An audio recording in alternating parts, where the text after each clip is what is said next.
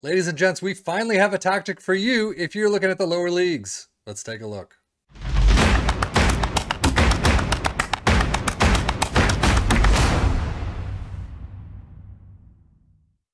At least I assume this is for the lower leagues. This has a Sheffield FC logo on it, on the picture. This is called the Escapism Deluxe. And the only description that's in it on the Steam Workshop says pressing and free flowing 424 that emphasizes being on the front foot to overwhelm the opponents. This tactic was based on RDF's Julian Nagelsmann's 4231 from uh, FM22. In the lower levels, it is advised to, advised to change the complete forwards to advanced forwards and deep lying forwards. So they've tried it out with the, the lower leagues as well as probably some upper leagues, uh, and it seems to have worked for them. We don't see any screenshots or anything like that, but this is the tactic itself. It is a, a sweeper keeper in attack. You can see it is a 4-2-4. Two fullbacks on support, a central defender on defend, a non a no nonsense center back in defend, a deep lying playmaker in defend in the midfield, Mezzala in support, two wingers both on attack, a complete forward and a complete forward, or one in attack, one in support. But again, it does say in the lower leagues, change those complete forwards to advanced forwards, uh, to an advanced forward and a deep lying forward. So change that to an advanced forward, change this to a deep lying forward, and you've got your lower league tactic right there. It is a custom Gegenpress, positive mentality, in possession, a, attacking with is fairly wide, approach pla- uh, play is pass into space, overlap the left and right, focus play on the left and right and play out of defense, passing directness is shorter, tempo is slightly higher, mixed crosses, and run at defense. In transition, counter press, counter, distribute quickly, distribute to the center backs, and then take short kicks. And then out of possession, a high press line of engagement, a much def higher defensive line, trigger press much more often, and prevent short goalkeeper distribution. But now, how did it do with our three teams? Eh, not great. Um, you can see Newcastle does come in Conference League spot at seventh. Tottenham in ninth was not great, especially at 54 points. Wolves just avoiding relegation by two whopping points. Uh, so definitely did not work, work for them. Newcastle in Conference League is not too bad. I think you could get there anyway without this tactic. There are probably better 4-2-4 tactics. But again, that's what the sim does. It screws with everything, uh, and this is what you end up with. Newcastle's schedule actually does look pretty nice. Liverpool 1-2 right off the bat, but then a sea of green and a couple of draws there. Thought you got Aston Villa loss, you got a Tottenham loss, uh, but not by much. Only 2 to 3, 6 to 4 against Manchester City. Fantastic away win right there. You move it on in the EFL Cup third round. You move on in the fourth round against Tottenham. Uh, if, wow, you keep going, don't you? Up until the fifth round where you lose out to Tottenham, two to six. Was that? Oh, that must have been the EFL Cup. There you go. Uh, but EFL Cup final, you do lose out to Liverpool, the absolute killer in most of these tactic talks. But nil two at Wembley, you got to a final. That is a fantastic effort right there. Second half of the season, I mean, look at this January, though. Minus that 1 2 loss to Leicester, fantastic. And then just completely spotty from there on out. Arsenal 2 to 5. Tottenham starting off a bit spottier, nil 5 to Manchester City, 3 5 to Leicester. Wow, Leicester's crushing it. Uh, but a couple wins, a couple losses. There you go. Champions League not doing very well. Uh, well, you got a couple right there. You so you're just losing out to Real Madrid, of course. Real Madrid again. You should have moved on. Yep, there you go. You do beat PSG at home. You lose by a far margin, 1 to 5 to PSG away from home.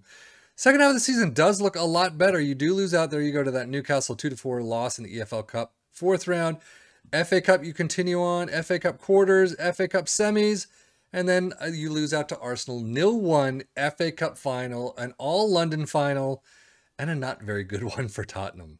And then Wolves. Yeah, you got a couple of greens here and there. Uh, you move on in this EFL Cup, but wow. I mean, I guess October was good.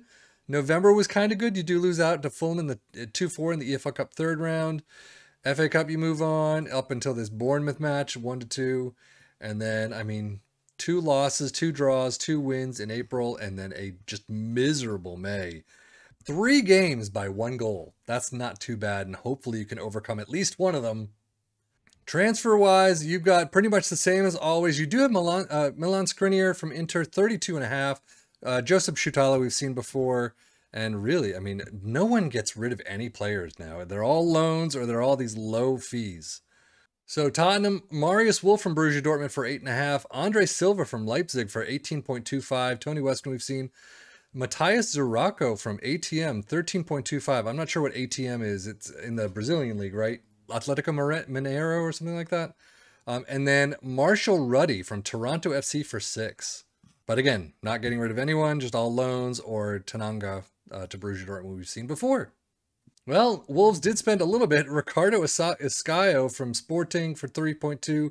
Bruno Varela from Vitoria de Guimarães, 3.1. And then, yeah, 16.25 actually for Jose, Jose Sa. Not too bad for Porto, but I think we have seen that before.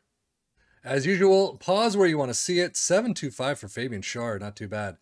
Uh, you do have a lot more green. So uh, for for Newcastle, 7.29 for Miguel Almiron. 763 for Isak. Fantastic. Tottenham, not nearly as many green. However, 734 for Son, 725 for Kane. Not too bad. And then Wolves. 716, 716, Jimenez and Traore. Not too bad, actually. Most goals, Newcastle and Tottenham, 76 and 69 apiece. Uh, not too bad there, especially Tottenham finding themselves a little bit lower in the table. Nobody for fewest shots. Uh, most possession though, Tottenham is there. Dribbles, Newcastle, fewest conceded. Nobody, no shutouts. Tottenham in eighth with 11. Most tackles when you do have Tottenham and Wolves, so you have a little bit of defensive work. Wolves though, ouch, 793. Uh, best pass, passing is not a thing for these teams and for this tactic. Newcastle and Tottenham for most shots, and then most points. You got Newcastle in there. Haaland, of course, with 40, but Kane comes in with 24 goals. Wilson with 21. Isak with 20 as Son most assists, you got Trippier leading the charts with 14, Isak with Newcastle in 11th, or with 11, and St. Maximin with 11 as well. Most player of the match awards, Isak Traore and Kane, all with seven apiece. Uh, but passing nothing. Dribbles made, St. Maximin and Traore. Bruno Varela with Wolves, fewest conceded, 31. Most shutouts, Hugo Lloris, Nick Pope both make the list, 11 and 10 apiece. Most tackles, nobody. Key passes, Trippier as usual. No Semedo, no Sarabia. Uh, but Isak and Wilson, all with most shots. Uh, Harry Kane up there as well. Newcastle, Callum Wilson and Alexander Isak, 29 goals apiece in all competitions. That is an amazing result. Fantastic for individually either of them, but together 29. Wow. Alexander Isak was 763 though. Uh, St. Maximin with 16 assists and most player of the match awards Isak with 11. A fantastic result for Newcastle right there. Harry Kane with 30 goals for Tottenham a really good result there. High, you know, kind of on the high end of average for him. Actually, no, I would say that's probably higher than average. Son with 734, fantastic. Assist, Kulusevski with 12, and the most player of the match awards 8, and even 8's probably higher than average for, for this team.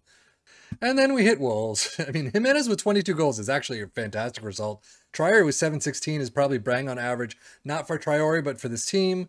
Uh, most assists Traore with 11. He really came out this season. And then most player of the match awards eight for Traore. He did a fantastic job with this team. Overall, though, this tactic did not work for Wolves whatsoever. I mean, they could have brought up some of these draws. I mean, only six draws, though, still. Uh, but Tottenham, oh, probably average, if not a little bit lower than average at 54 points. Newcastle was 65, probably about average. Uh, I there again, there are definitely other 424s that have done much better jobs. Uh, and then we got this one. But anyway, that's it for me. Sefian FM for the Football Manager blog channel saying thank you as always for watching. Take care and enjoy.